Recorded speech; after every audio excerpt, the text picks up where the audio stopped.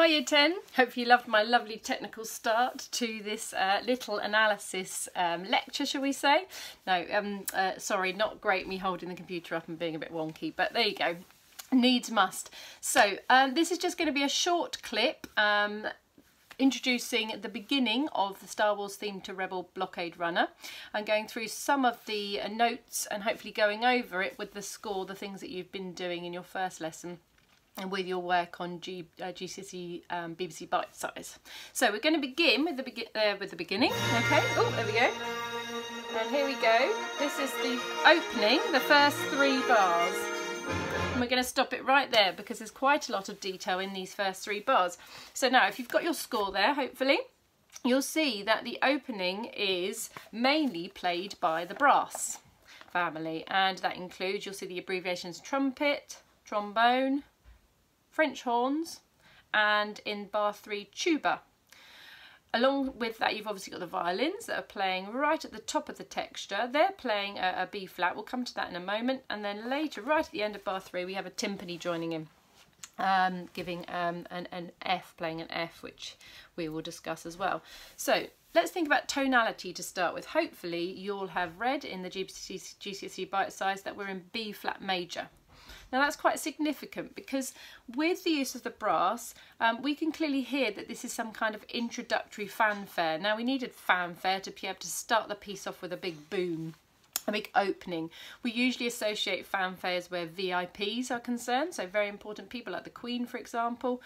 Um, and also we have the connotations with the military as well. So um, obviously the last post is built on um, the harmonic series of C, G, C, E, G. So basically just makes a chord of C major and we get this da da da da da da da da da da da. So using those notes. Now, because we're in B flat major at the beginning, if you think about it, um, some brass instruments are transposing instruments. In particular, the trumpet is a B flat instrument.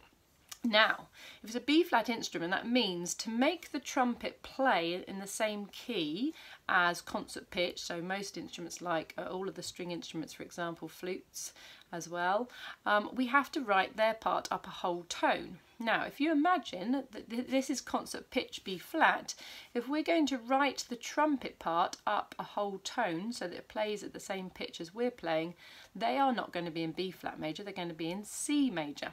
Okay, and there you've got that relationship with the military-esque uh, harmonic series because they are playing notes of a C major chord which for those of you that play a brass instrument or you know anything about brass instruments means you don't need to use any of the valves. So a bit like a bugle would have been used in, in the war to be able to signal to um, the uh, soldiers on, on the field. Okay. So already there's that military-esque idea of using the harmonic series for the B-flat instruments such as the trumpet. Another thing that's quite uh, military-esque, I think, and fanfare-esque is the rhythm. Have you noticed all of the triplets that are th used throughout this whole opening section, but actually particularly in bars one to three? So the triplets have got this feeling of dugga da dugga da dugga da dugga. it's quite a military-esque feel. Okay, um, other things that make it sound like an introductory fanfare are the, the dynamics, for example. So fortissimo dynamics. So you can see that right in bar one, fortissimo en entry, and also the accents, the articulation on the trombones, on the French horn. Can you see the little uh, accents? They're marcato accents, which are making it really, really forceful um, and a bright opening. Okay. As well as that, can you see right at the top of the texture, I said this earlier on, but we'll come back to it now, now that we know that we're in B flat major. The violins play a B flat right at the top and that little um, note, and it's got those three little lines above it. Hopefully you all can remember that this is called tremolo. And tremolo means that we get our bow on the violin and we just go like this as fast as we can, which creates a really, really exciting tension to the music. Um, it's also on the note of B flat, which is a tonic pedal because we're in B flat major. And because it is at the top of the texture whereas usually a pedal is at the bass because it's the top of the texture we call that an inverted pedal. Okay so we've got an inverted tonic pedal from the violins. And can you see where it says plus 8 VA that means that it's an octave higher than is written so it's really high on the violin there. So we've got quite um, uh, a polarized texture with a really high note from the violins and then the quite low notes that we get when the tuba comes in, particularly in bar three. Okay, when the timpani comes in at the end of bar three, can you see that it's playing an F? So that F is creating a dominant note in the B flat, B flat, C, D, E flat and F, the dominant, the fifth. So with that and then the first note of bar four being a B flat in the trumpet and the main theme, we're creating what we call a perfect cadence, five to one. Okay. Now throughout that introduction as well we're getting um, a lot of intervals of a fourth. Can you see they're all over the place so F to B flat, um, we get also B flat to F which is an inverted fourth or we might call it a perfect fifth but if you can imagine B flat to F is a fifth but F to B flat is also a fourth. So they're really one and the same thing. And this creation of the interval of the fourth is called quartal harmony meaning four okay? And quartal harmony actually is used a lot in gamelan music but here I think it's used to create a feeling of the military again. The idea of the perfect fifth the da da or da da the perfect fourth creates a real feeling of the military because of that last post sound and because of the abilities of the bugle being the bum bum bum ba dum so we get that real feeling of military throughout these first three bars, which is what we're supposed to be trying to create a powerful impression of something grand and important, um, making it heroic.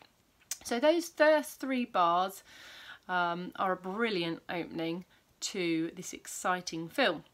Now let's carry on. Let's go for bar four now. I'm going to play that. Hopefully my YouTube's not gone to sleep. Here we go. So this is bar four. We're going to listen to the first theme.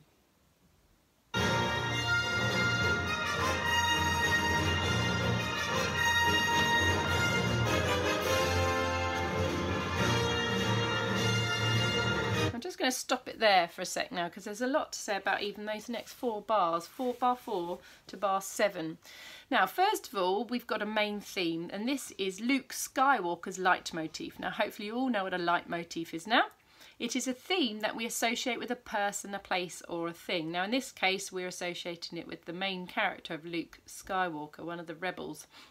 Um, now the thing that makes it heroic, because Luke obviously is a, a hero, he's a goody, um, it, the things that make it heroic are the use of the perfect fifth right from the beginning. So we get B flat to F, which is a perfect fifth. Again, we've got those military-esque connotations, um, making it sound heroic. And then it comes, it descends down, dum, dum, and then da, da, da. So we descend through a triplet, uh, conjunct movement, and then we go da, we've got an interval from the C to the B flat in bar 5, which is a seventh. And then it comes back down to the F, which is the dominant, and then it does the same da da da da da for a fourth da da da dum.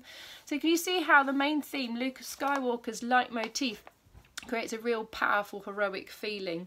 Now, not only this, but um, John Williams has the ability to write some incredibly uh, memorable uh, momentous melodies for his characters. And just think about some of those. I mean, let's think about, for example, uh, Indiana Jones. So we've got da da da da da da da da da da da da da da. We've got E.T. that goes uh, the flying thing, for example, da da da da da da da da, and then da da da da da da da da da. So all of these themes have got something quite special about them. And I think, I think, this is my opinion completely, but I think that it's all to do with John Williams' success in writing a really, really good melody is having a really special mixture of um, intervals, so gaps between the notes, quite iconic intervals they become and also that mixture um, of a conjunct movement as well so if we look at this in terms of uh, Star Wars we get the fifth the jump of the fifth bum bum which has become incredibly iconic and then da da da dum and then that seventh mixed in with this lovely conjunct movement and I think that's the same for the Indiana Jones da da da da da da da da da da same thing and also the flying thing for ET that I just sang. So there we go, we have it. Luke Skywalker's leitmotif, bars 4 to 7, which is then repeated um, in bars 8, 9, 10 and 11. We'll come to that in a moment. Now, what we also need to look is at the accompaniment of this. So at bar four, we also, again, we have the uh, violin inverted tonic pedal on the B flat going again, tremolo pedal. Uh, underneath it, the orchestra are accompanying in block chords. So they are playing these block chords. Now, if you noticed, they are not on the beat. They are all off the beat, or most of them, okay? Um, and so this is creating quite a feeling of um, excitement and perhaps maybe slight insecurity as we're not quite sure what's going to happen. It's creating tension. Um, also, we see a lot of triplets, again, creating quite a military feel. And can you see the accents are on notes that are specifically off the beat, so it creates that feeling of excitement. As well as the rhythm and the block chords being on those off beats, can you see that the chords actually are, are interesting types of chords. The first one is a B flat chord in bar four, which is clearly just a tonic chord. But as we go on and look at specifically bar five, I'd like to just concentrate on that first chord in that bar, which carries on for most of the bar apart from the last beat. So we're looking at uh, this second line, I'll just show you here, we're looking at this line and this line. So from the bass up, we're looking for it. We go F, we've got an E flat, we've got an A flat, a B flat, an E flat and an F, okay? So at first glance that looks quite kind of like a dominant chord because it's got F in the bass. But if we look at it and we order it in a specific way, you can find that there's an F in the chord, there's a B flat in the chord, and the interval between the F and the B flat is a fourth. And then we look at the chord a bit more detail, B flat to E flat, that's a fourth, and E flat to A flat, that's a fourth. So what it's creating is a chord that's built up of fourths. Even though it's not in that inversion, we still hear this, what we call quartal harmony, which is creating a real military-esque feeling, quartal harmony. And that carries on throughout those four bars, basically. It just keeps going from the tonic pedal to this dominant style pedal that is built out of perfect fourths. Okay, hopefully you're all up to speed with that. Now, when we hear the repetition of this, we're going to hear um, bars 8 onwards. Can you have a think about how the accompaniment has changed this time? I think that the tune has stayed the same, but has the accompaniment changed? So just have a listen to this.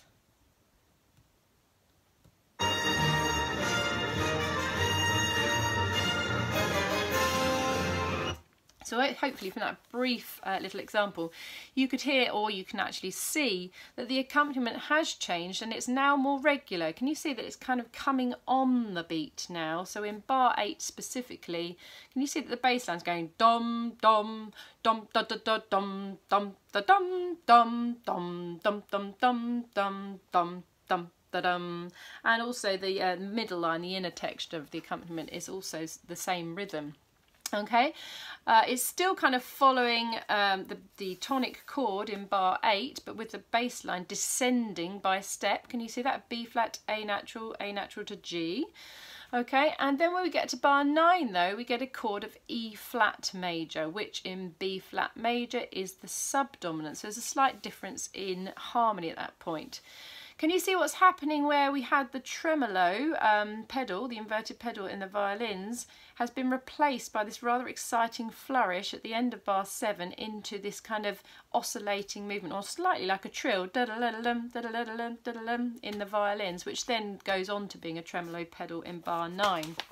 And if we turn over, we just see the ending to that little repetition of the theme. Now, when we get to bar 11, we start to hear this.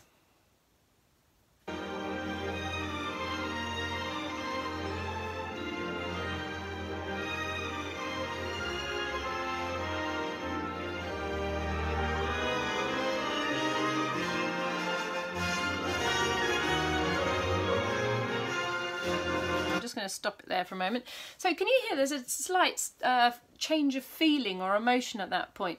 Now this is because what most people call this is um, Princess Leia's leitmotif. They're suggesting that this is a bit sexist, but they're suggesting this is a slightly more feminine theme. Um, certainly it's more legato, isn't it? It's smoother. It's not got that real kind of a kind of marchy feel to it.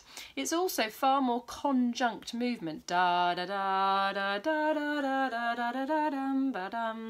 So there's falling fourths in bar 12 at the end of bar 12 and then it kind of rises again in bar 13 and it sort of follows that kind of conjunct movement more than Luke Skywalker's motif.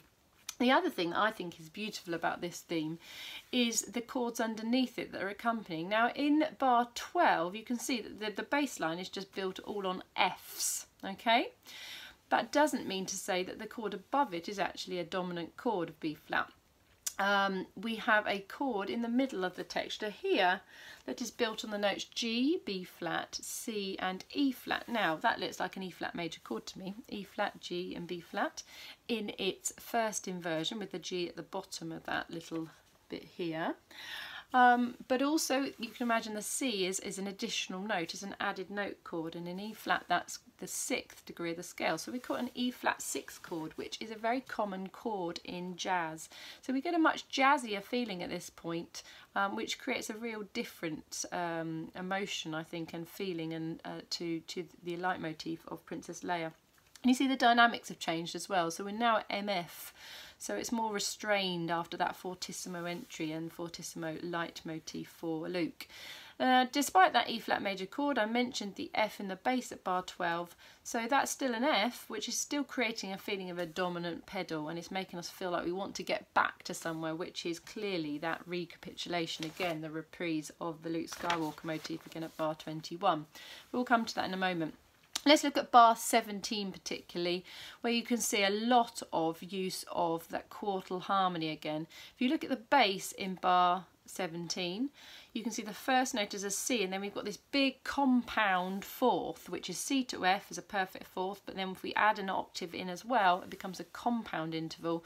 So that compound fourth on the first two beats of the bass line and above it the chord in the middle of the texture has an F, a B flat and an E flat which again is creating those perfect fourths on top of each other which is called quartal harmony.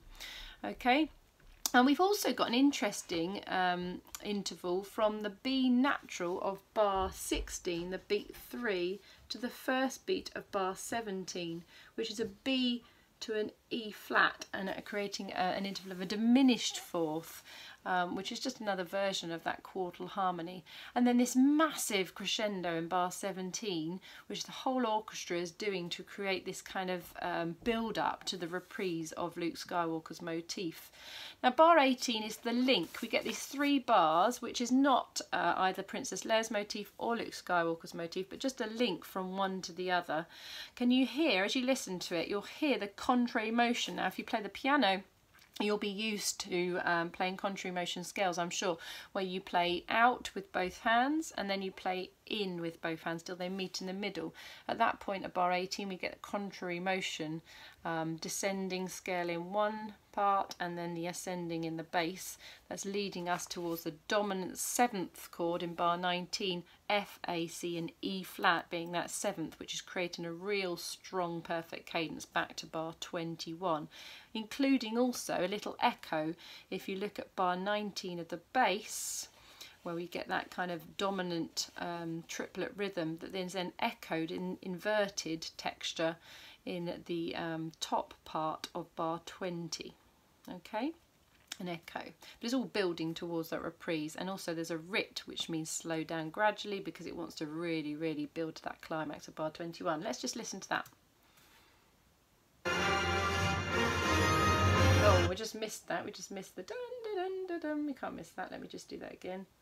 Here we go. Still missed it.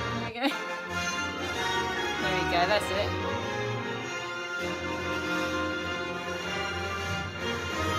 Right, now we're at bar 21 with the reprise.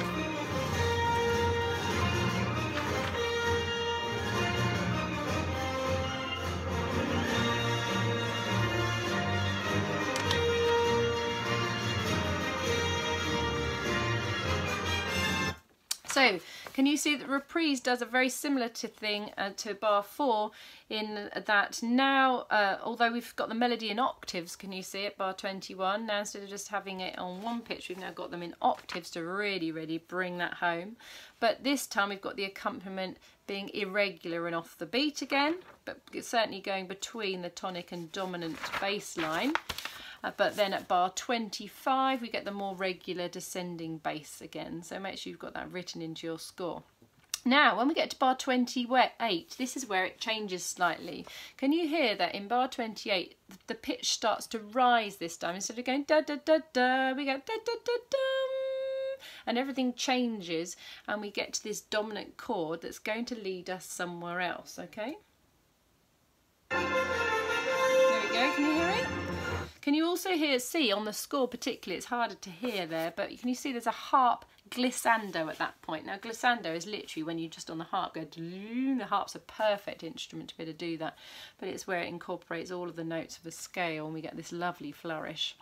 Okay, so bar 30, we get to a link passage. Now this is, um, as the writing, as you just saw in the crawl, is just about kind of disappearing off. Not quite yet, but we're getting to a point where it's slightly more chaotic. Can you see the texture is much lighter at this point, with that whole middle section on the score is missing. We've got bass and we've got brass playing that quartal harmony again at bar 30. Can you see with the B flat, the E flats, and then on top of it in the last beat of bar 30 A flats as well. So quartal harmony everywhere. But it's getting far more mysterious and slightly more static. Let's have a look listen to this.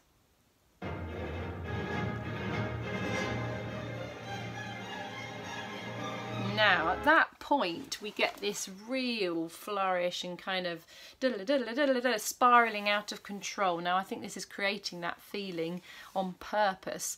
Um, the words disappear and we suddenly given just this starry sky and we're supposed to have a feeling of a lack of gravity, um, a lack of stability, and everything's all over the place. We're really not sure what's going on. And the thing that creates that, I think, is the violins and the lower strings, obviously cellos and violas, and creating it through this sextuplet rhythm that goes da da da da and it's just literally a little melodic sequence of three notes that goes da da da and then up da da da and then da da da da da da da da da da and really really up into the the heights of their their range there um, and with obviously a lovely tremolo um, exciting chord in the bass just at the end of bar 32 and then we come to these kind of static chords at bar 33 that really accompany that just that black screen with nothing really happening. And I'll explain what those chords are. We'll just listen to them. So this is bar 33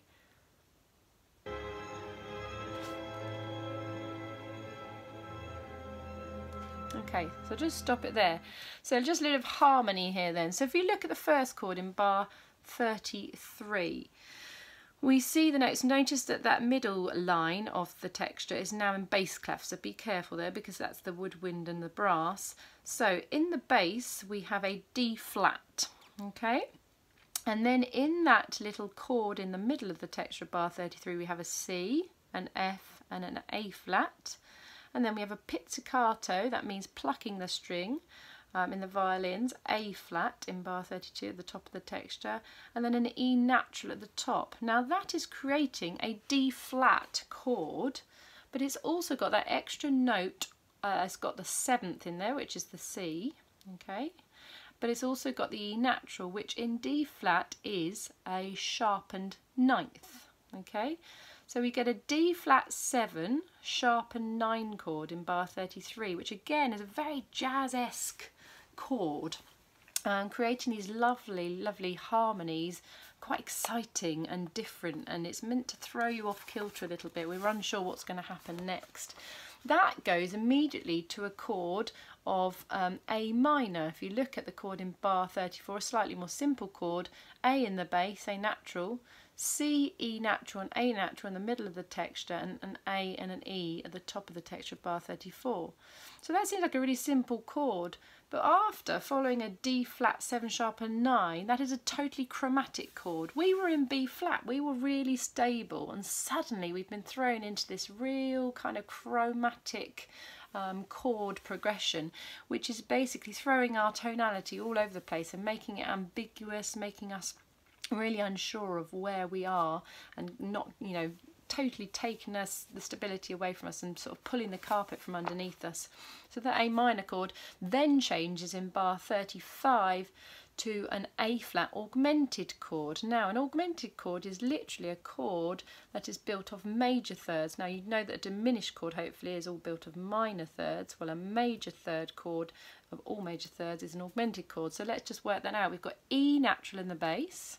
We've got an A flat, a C and an E natural. That's where the chord really shows you uh, what it is. A flat to C is a major third and C to E natural is a major third. Now if you're able, if you've got a piano there, just play that chord to yourself and you'll hear it's that real kind of question mark chord. What's going on here? And that's just perfect. John Williams has used that chord to give you that big question mark at this point.